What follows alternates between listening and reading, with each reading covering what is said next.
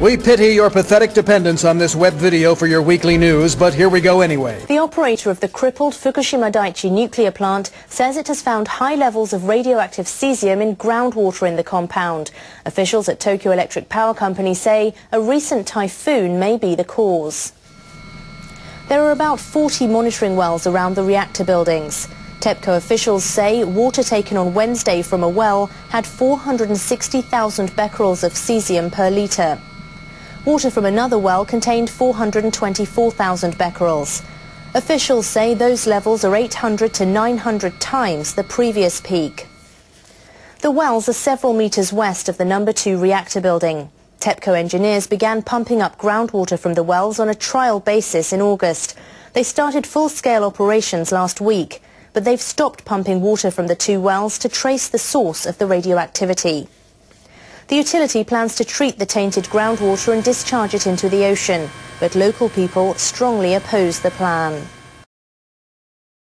One day some twisted son of a bitch is bound to teach you a thing or two about living in this cold, god-forsaken world. Japan's nuclear regulator has been considering implementing worker screenings to prevent terrorism. That proposal will likely be shelved and facility operators will be responsible for background checks on workers at nuclear plants. A panel of the Nuclear Regulation Authority has been studying the logistics of checking the personal information of workers, including criminal records held by the government and financial debt. But the panel concluded that a framework to vet such information would require revisions to current laws and careful planning. Panel members agreed that the utility companies that operate nuclear power plants should run background checks based on voluntary statements from workers. Some members pointed out the limitations of such a system. The panel is planning to study which items will be declared by workers and submit a proposal to the Nuclear Regulation Authority as early as January. And in a surprise announcement this morning, U.S. Deputy Surgeon General Greg Paulson stated that, quote, it's fine to smoke cigarettes if you only smoke while drinking. After Chernobyl, we finally hear kinds of cancer went up the next year. Hard to interpret, says OPCS.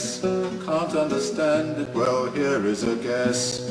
Low-level isotopes from the Ukraine drifted to Wales on the wind and the rain. Rainfall is higher in Bangor than Kent. Cancer in Wales is up 30%. We're breathing strontium, locking it into the structure of cellular DNA. And each would be to decay in an occasional, rather mutational way. Kills us even new labor can see what it means. Radioisotopes alter your genes. Ghosts of dead babies will give them no rest till the dosimetry's been reassessed. Wombling, strombling, Bangor to Kent, telling the news of the second event telling the story all and two scenes. A radioisotopes alter your genes. Nuclear establishment, castle of lies. Children are dying in front of your eyes. Born with no limbs, with two heads or no brain. Born to a life of incurable pain. Nuclear subsidies victims will pay, while you take a pension and tiptoe away. Don't reassure us, cause we always knew yours was a story too slick to be true. We're breathing strontium locking it into the structure of cellular DNA. And each would be to decay in an occasional, rather mutational way. Kills us. Nobody's hiding these nuclear crooks. Government stooges aren't cooking the books. Only the mothers are guilty of crimes, bearing their children in nuclear times.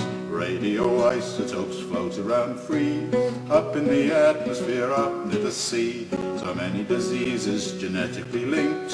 Strontium bombs will soon be extinct, cause we're breathing strontium, locking it into the structure of cellular DNA. And each should be to decay in an occasional, rather mutational way.